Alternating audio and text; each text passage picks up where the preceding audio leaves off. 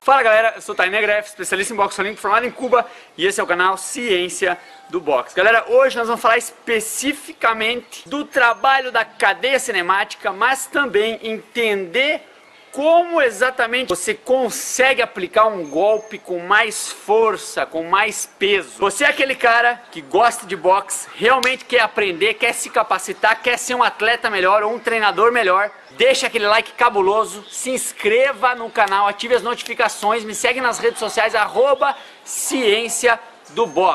E também dê uma olhadinha no link da descrição e vamos ajudar a campanha do André no Apoia-se. Vou deixar o link na descrição. De uma forma resumida e prática, a gente pode dizer que a cadeia cinemática nada mais é que o conjunto de segmentos das partes do seu corpo trabalhando em função dos seus golpes, ou seja, harmonicamente em movimento, trabalhando em função dos golpes. E aí vem aquele orelha seca. Ah, professor, então o segredo de bater forte é usar bem a cadeia cinemática. Não, meu amigo, o segredo de quem bate forte é ter força, conseguir colocar força no golpe. Então veja bem, quem nasce com bastante fibra branca de força, geneticamente vai ter mais força que o outro cara. Então a força tem uma grande capacidade devido à genética. Então quem nasce com força tem força, desenvolve trabalho, desenvolve mais ainda e pode ser um bom pegador. Quem não nasce com bastante fibra, quem não tem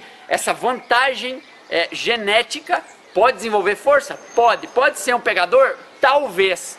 Mas nunca vai ser igual ao cara que nasceu geneticamente privilegiado para isso. Então, do ponto de vista de, da capacidade física, é importante ter bastante força e desenvolver bastante força com velocidade. Capacidade física fundamental para quem tem pegada é força explosiva. Ou seja, o que, que eu estou querendo dizer? O cara que nasceu com muita força, o cara que conseguiu desenvolver mais força ainda, por mais que talvez ele não consiga trabalhar tão bem, lindo, com a cadeia cinemática no momento de executar os golpes, ele vai ter possivelmente mais pegada do que um cara que tem bem menos força, mas consegue utilizar melhor a cadeia cinemática. Então percebam, o fator genético, a quantidade de força que o cara tem, vai fazer, em primeiro lugar, a diferença no momento do cara ser um pegador. Agora vem, a cadeia cinemática pode ajudar, sim, a você conseguir ter mais pegada. Isso ninguém duvida.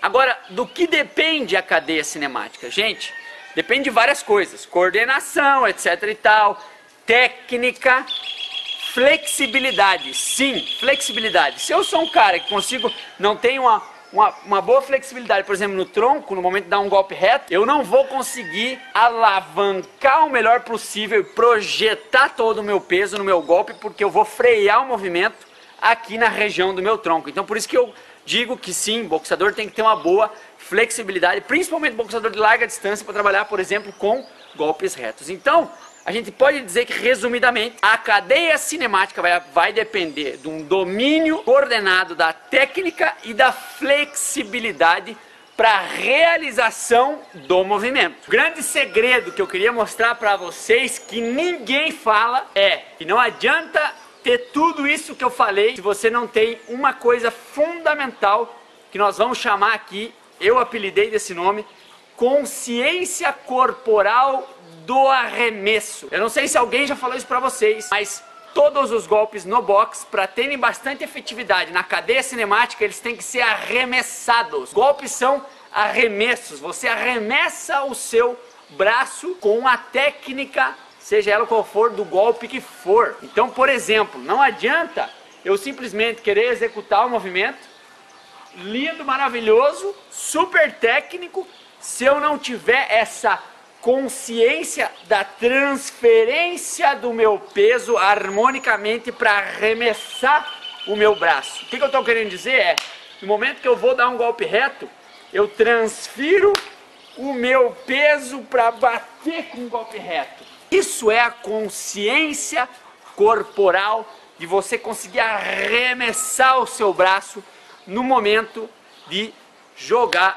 o ataque que for, o golpe que for. O Mike Tyson tinha muito isso. Ele trabalhava absurdamente com uma consciência corporal de arremesso trabalhava muito bem com a cadeia cinemática. Ou seja, o que eu estou querendo dizer é buscar um grande ângulo no momento de você desferir um golpe e lançar o seu braço não somente mover o seu corpo. Por que, que eu dei esse apelido? Consciência corporal de arremesso, porque vejam bem, os esportes de arremesso, de lançamento, quanto melhor for a técnica, a cadeia cinemática e a consciência corporal para transferir toda essa velocidade, essa força para lançar, melhor vai ser o lançamento. Isso significa que melhor foi o trabalho da cadeia cinemática, da técnica, e ao mesmo tempo, esse lançamento ele saiu com mais força. Então, se a gente aplicar isso para o box, cada golpe que a gente jogar também vai ser lançado